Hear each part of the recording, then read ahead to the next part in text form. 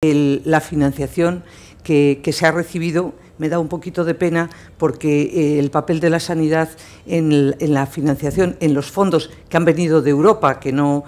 eh, nos, han venido de Europa, en el plan de recuperación, transformación y resiliencia no llegamos ni al 1,48% y el papel que, tiene en recuperación y transformación económica y salud de vanguardia, pues eh, no llegamos ni al 3,3%.